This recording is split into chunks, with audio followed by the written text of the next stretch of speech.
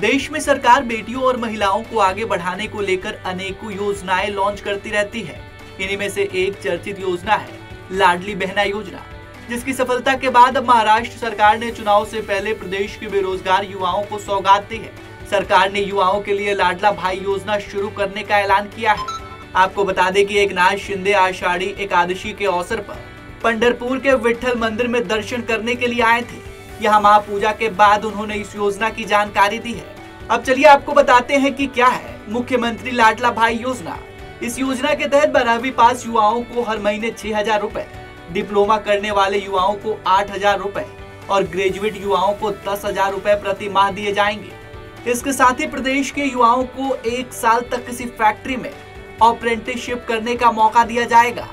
इससे उसे काम का अनुभव मिलेगा और उस अनुभव के आधार पर उसे नौकरी मिल जाएगी।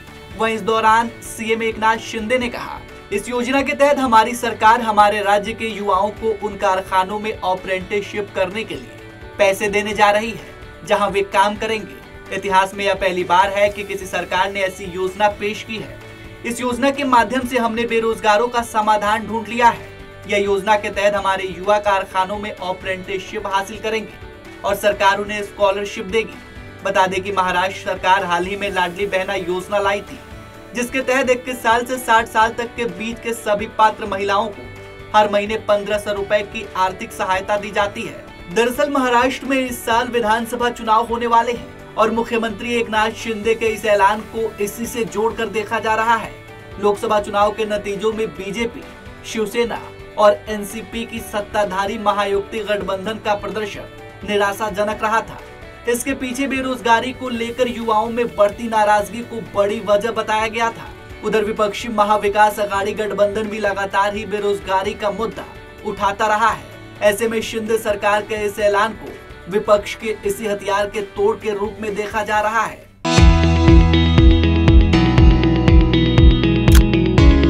रितम मीडिया की नई ऐप आ गई है। जी हाँ देश की उभरती हुई बहुभाषी मल्टीमीडिया रितम ऐप का नया वर्जन लॉन्च कर दिया है। इस नए अपडेट के साथ मिलेंगे आपको ढेर सारे मज़ेदार फीचर्स जैसे ही आप ऐप खोलेंगे, आपको सबसे ताजी खबरों का सेक्शन लेटेस्ट न्यूज़ मिलेगा।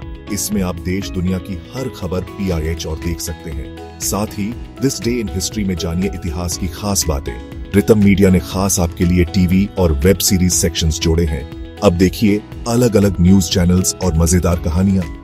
और हाँ सिटीजन जर्नलिज्म को बढ़ावा देने के लिए वीडियो सेक्शन भी है। यहाँ आप अपने इलाके की बातें सब तक पहुँचा सकते हैं। खासकर महिलाओं और युवाओं के लिए भी अलग अलग टैब्स हैं, जो उनकी पसंद और जरूरतों को ध्यान में रखकर बनाए गए हैं। तो अब इंतज़ार कैसा? फटाफट गूगल प्ले स्टोर या आईओएस पर जाइए और रितम ऐप डाउनलोड कीजिए। सबसे पहले पाइए अपडेटेड न्यूज़